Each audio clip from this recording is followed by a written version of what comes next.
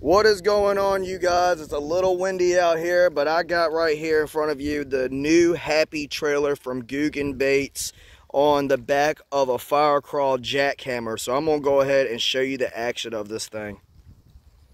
Alright, there's been a lot of hype on this new trailer, so we're going to get our first looks together.